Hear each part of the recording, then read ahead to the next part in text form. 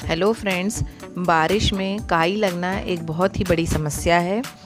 इससे लोग गिर जाते हैं और हाथ पैर में लग जाती है, जिससे लोग बहुत परेशान रहते हैं। अतः इसको साफ़ करने हेतु आप सबसे पहले ब्लीचिंग पाउडर लेंगे तथा जहाँ पर भी काई लगी है, ये जिस प्रकार से दिखा रहे हैं, पूरे जहाँ जहाँ ज़्यादा काई लगी है, वहाँ ज़्यादा ब्लीचिंग पाउडर रख देंगे।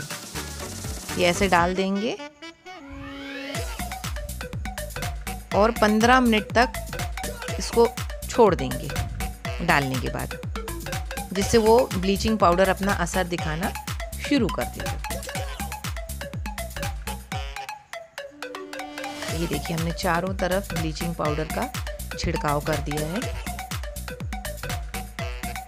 ये पचास रुपए का पैकेट मिलता है, सौ ग्राम का।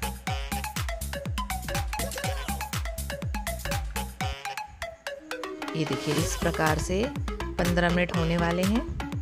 पूरे आँगन में हमने जब जब तक छिड़काव किया, जब तक 15 मिनट हो गए और एक ब्रश की सहायता से जहाँ ज़्यादा काई लगी है, वहाँ हमने घिस दिया। आप देख रहे हैं काई धीरे धीरे थोड़ा ताकत से घिसेंगे तो वो अच्छे से निकल जाएगी। अभी हमने ब्लीचिंग पाउडर के अलावा कुछ भी नहीं डाला है, आप देख रहे हैं। तो थोड़ा सा पानी छिड़केंगे। ये देखिए, आप खुद देख रहे हैं कि जहाँ जहाँ हमने पानी थोड़ा थोड़ा डाला, काई अपने आप निकलती जा रही है।